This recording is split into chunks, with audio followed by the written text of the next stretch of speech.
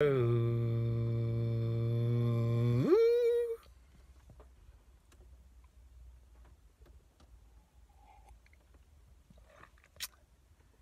morning, good afternoon, good evening. I hope that you enjoyed Cecilia in my recent conversation that we had earlier this week. Uh, we covered a lot of interesting things, and in case you missed it, I, I suggest checking out the our convo and also um, checking out Cecilia's new YouTube channel as well as her website.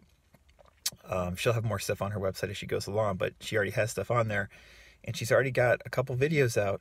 Uh, really great to have Cecilia um, doing car vids because she's a very unique voice, as most of you know who have listened to her before when it comes to the, these spiritual and manifesting ideas, self improvement, habit building ideas.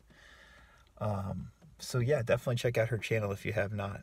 Uh, other announcement I want to make is that I'm going to be offering a group coaching session a group coaching session next Wednesday, July 5th at 5 p.m. Eastern.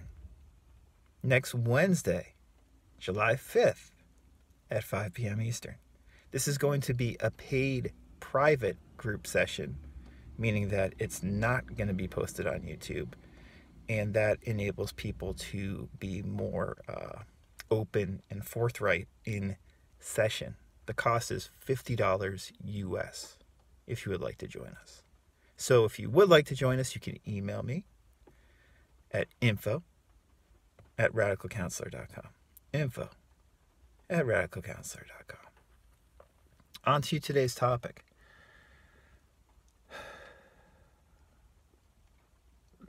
Cecilia and I were talking about how often it's helpful to notice these manifesting ideas and principles, concepts, uh, how they affected your life and how they took place in your life before you ever consciously knew about them, before you ever read about them or had heard of people like Neville or, you know, books like The Secret or, you know, Abraham Hicks or anything like that. Like how these general fundamental fundamental ideas probably like we're, we're working in your life in a way that you can recognize if you go back and think about it. You know and we were, we were giving examples of like health and you know different ways where you manifest better health and you know manifest different things in your life without even knowing you're doing it in this way that someone like neville teaches or joseph murphy teaches or, or whoever teaches right it's a very natural thing in my opinion it's part of how we're built as humans this intrinsic um, part of our physiology, of our, our mind body relationship, of just how we're made up to survive, of our survival mechanism, you know? Um, and I thought I would expand upon that a little bit today uh, in a very personal yet impersonal way. Um, related to what we've been discussing recently, particularly in regards to like, you know, Joel Goldsmith and this idea of like the absolute method and resting in God, you know, as opposed to trying to, you know, constantly manifest certain things, specific things in your life, instead just kind of resting in God and have having that be essentially your quote unquote manifesting practice. This is something that I basically have done since I was a teenager. You know, probably, you know, 15, if not 20 years before I ever really got into these ideas. I was still doing this, except I was doing it not as consciously as I as I now attempt to do. Um, from a very young age, I was interested in uh, spiritual ideas, one reason, perhaps, being that I was raised essentially agnostically, never went to church, never went to temple or you know anything like that, except for like you know some friends' bar mitzvahs or whatever. But you know, my family never went to any religious services, never really talked about God. Um, not to say that my parents weren't spiritual in any ways, particularly my father was very into into yoga and uh, Eastern spirituality. He actually had, I think I've mentioned this before in passing, he had um, the Witter Bynner translation of the Tao Te Ching, the Way of Life. Um, that was just on our bookshelf, and that that's still the Way of Life. Um, that Witter Bynner translation of the Tao Te Ching is is by far my favorite translation of that book and one of my all time favorite books. So like I was reading stuff like that at a pretty young age, you know, at like 13 years old or something like that.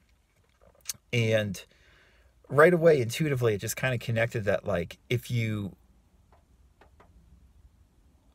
recognize whatever you want to call it, God, presence, the universe, the unity of all things, if you recognize that, everything else kind of lines up in your life. Like things tend to work out much better if you just recognize God. I'll say God for lack of a better word.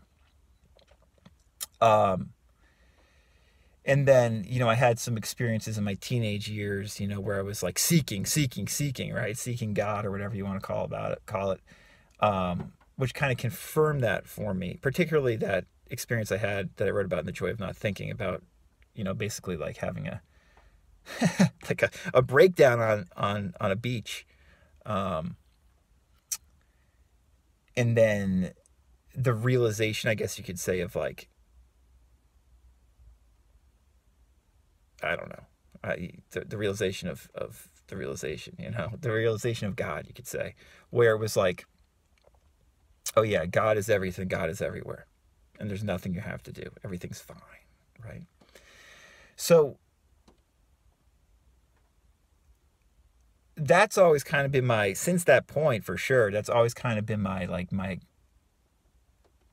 guiding force, my my survival mechanism in action where like I haven't necessarily planned out my life um, or thought that far in the future a lot of the time and I've just kind of rested in God and always tried to go back to that like connection, feeling unity, feeling flow with this greater thing. And um, that's just kind of how I've lived my life.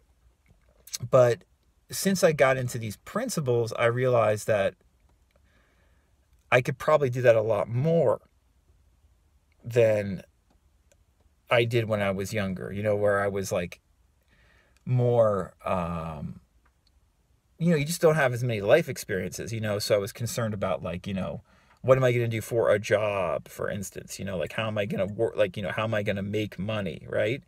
Um, and like do i have to do you know how can i fit in right?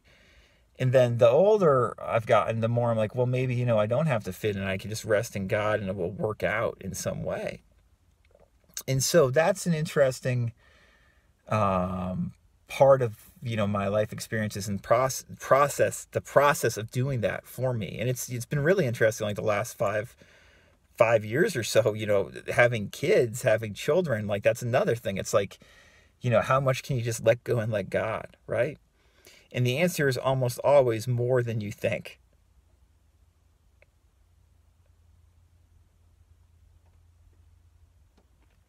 When you recognize that right now, that you are not separate from this, the divine.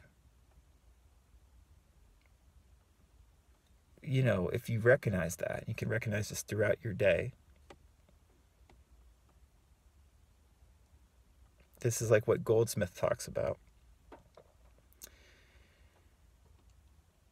You recognize that and uh, you realize you don't have to make as many decisions, perhaps, as you think you have to make.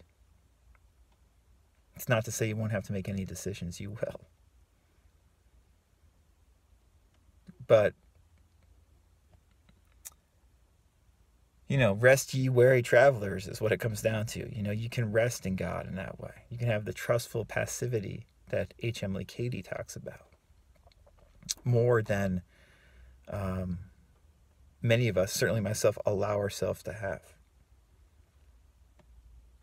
And it's very difficult for me, like when my children are screaming or, you know, they're in pain or something's going on, to be like, I'm going to rest in God.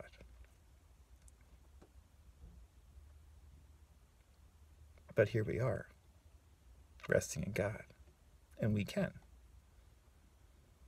We can work on letting go in that way and resting in what we always are, whether we like it or not. And when we like it, when we rest in it instead of fight against it,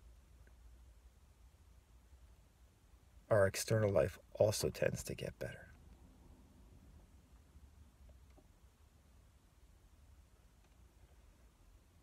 But that's not the point. The point is this right now. And this is something we can, you know, become more intimate and recognize more fully over and over again. It's a huge relief.